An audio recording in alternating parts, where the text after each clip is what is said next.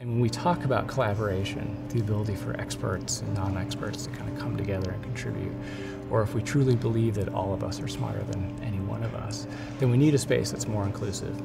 In a lot of ways, Modelo is like that. These browser-based tools are sketching a future of building on the expertise that people already have just from working through the internet.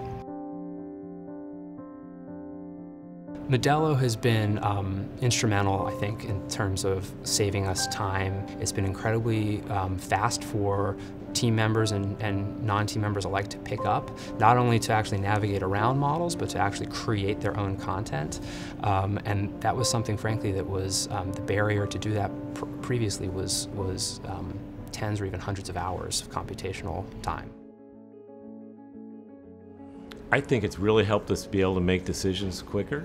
Um, I can immediately see in three dimensions what something will look like, or have to go back to the office to look at it, or, you know, people like me tend to spend a lot of time on the road.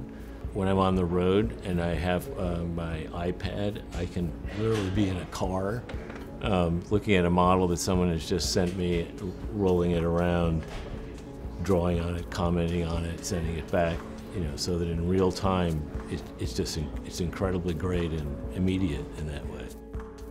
We can spend much less time worrying about and planning presentations. The gift of time, it all goes back to design. So it allows us to be better designers.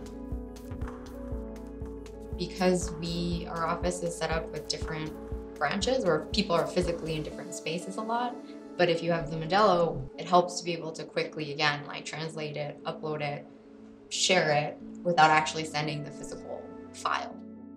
It's a really easy way to upload something and instead of writing a paragraph trying to explain what you just fixed, just to put a comment and say, look at this part specifically, is this what you had in mind? We use Modelo every day. And so when we come together for our weekly design reviews, the conversations end up being a bit richer because they opened it on their laptop on the train or when they got home. Everyone's in that space more often. Ultimately, uh, we like to test our designs by actually walking through them. As architects, we, we need to have intuitively, um, but to actually be able to visualize it cinematically, and Modelo is one of those tools that we, that we rely on. Uh, there's certain design leads in our office that refuse to look at a Rhino model or a Revit model anymore. They're only going to look at uh, a Modelo model, and that's because it's just really fast and very easy to navigate through it. It just kind of makes you feel happy when you use it. It's very kind of bouncy and lively. It's just felt like it was come on in and play. Modelo is a jetpack to supercharge your design process.